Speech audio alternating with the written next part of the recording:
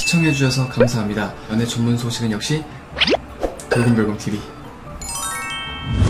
안녕하세요. 돌곰별곰TV의 별곰입니다. 자, 이번 시간에는 방탄소년단 B에 대한 소식을 전해드리도록 하겠습니다. 앞서 지난 19일 방탄소년단은 2020 시즌 그리팅을 정식 출시하며 팬들의 뜨거운 관심을 불러 모았습니다. 2020 시즌 그리팅은 현재 위플리 혹은 각종 온라인 쇼핑몰에서 구매가 가능한데요. 2020 시즌 그리팅 속에서 방탄소년단은 개성이 드러나는 의상과 눈부신 미모를 자랑했습니다. 그 중에서도 많은 팬들의 마음을 설레게 한 멤버는 바로 B였습니다. 아 정말 저도 정말 사고 싶더라고요. 아니 사야 될 것 같습니다. 예.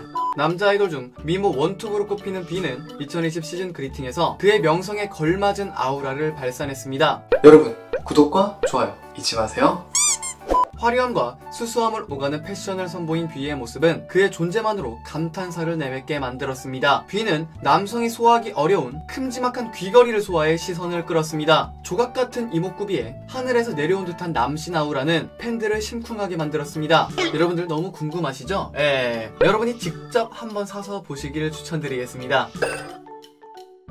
역시 CGV 세임이라는 별명에 걸맞는 미모를 갖췄다는 생각이 듭니다. 또 다른 소식입니다. 지난 18일 방탄소년단의 공식 유튜브 채널 방탄밤에서 방탄소년단의 간식 타임 영상이 공개가 되었는데요. 이날 공개된 영상에서 뷔는 노래를 부르며 RM에게 과자를 줄 듯 말 듯 하다가 결국 자신의 입으로 가져다가 먹게 됩니다. 그런 뷔의 모습을 바라보던 RM은 체념하고 간식을 위로 던져 받아 먹는데요. 이에 정국은 놀라워하며 한 번 더 보여달라는 말을 하고 뷔는 어떻게 했냐고 묻자 책 읽으면서 간식을 먹었다고 말을 했고 뷔는 Let's go! 라는 말을 하며 RM이 다시 간식을 던져 먹으려고 했는데 B가 또 장난기가 발동이 되며 RM이 던진 간식을 낚아채서 먹는 모습을 보였습니다. 간식 타임마저 장난을 치는 이 두 사람의 모습이 아 정말 왜 이렇게 귀여운 걸까요? 방탄소년단 멤버들은 서로 엄청나게 친하지 않겠습니까? 그렇기 때문에 이러한 장난도 칠 수 있다는 생각이 들고요. 한편 지난 20일 B의 솔로곡 스티그마의 1200일을 맞이하여 한국 실시간 트렌드에 스티그마